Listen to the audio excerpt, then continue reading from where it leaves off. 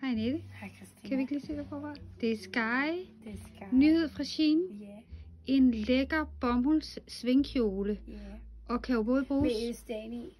Ja, Ja, og, og kan jo både bruges som festkjole, konfirmationskjole og brudekjole. ja. Nu har du taget brudeudstyr på. Ja, det har jeg. Lad os lige se lidt nærmere. I bunden er der det fineste broderi. Ja, og så har vi ellers en blonde overdel. En blonde. En lille ærme. Hvad størrelse har du på i dag, Annette? Jeg har en øh, 18 på. En 18. Ja. Og vi har den fra størrelse 36 op til størrelse 50. Ja.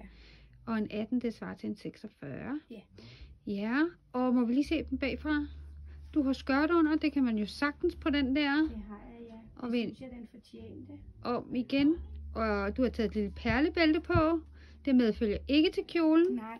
Og slør medfølger selvfølgelig heller ikke det, men det kan man købe ved siden af. Hvordan er den her på?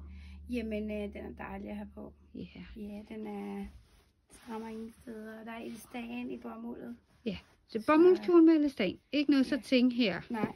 Det er bare så man... Øhm. Og jeg går lige tæt på blonden, og den er det, der hedder off-white. Ja. Den, den er ikke kridhvid. Nej, det er den altså ikke. Den kunne sagtens gå som cremehvid også. Ja. Men den er sådan lige en ting mellem hvid og cremehvid. Det er orden. Ja. Og jeg har taget helt hvidt på. Skørt under, Skørt. og der kan man jo vælge cremehvidt Ja. skørt, hvis det er det. Ikke? Øhm, Eller men- bryde det med en fræk farve. Rød Ja. ville også være flot. rød vil også være Blå. Ja.